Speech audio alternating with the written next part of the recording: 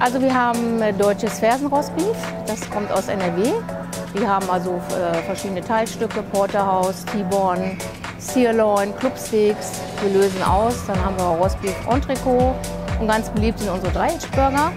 Da haben wir mal ganz klein angefangen mit 20 Stück und haben jetzt so mittlerweile 300, 350 Stück die Woche, die wir verkaufen. Da sind wir ganz stolz drauf.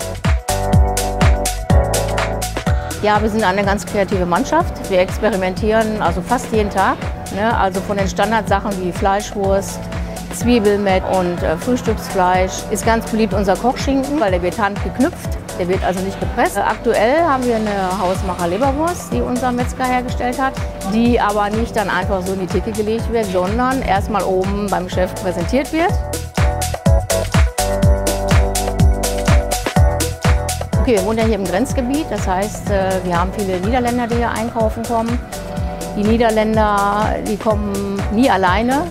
Das ist also immer ein halber Bus, der kommt. Und dann äh, wird die halbe SB-Theke ausgeräumt. Wir verpacken ja selber, also das ist keine andere Ware, wie die auch in Bedienung ist. Ne?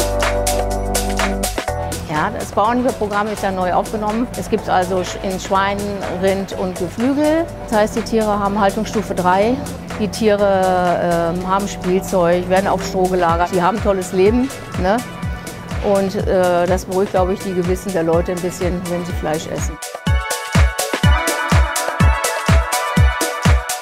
Oh, wir sind da total kreativ. Ähm, ja, von den normalen Standardsachen, gefüllte Taschen, Braten, Spieße, also die ganze Palette rauf und runter.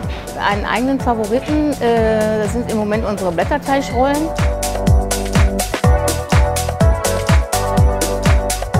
Die Leidenschaft, äh, mit den Menschen umzugehen, neue Sachen auszuprobieren.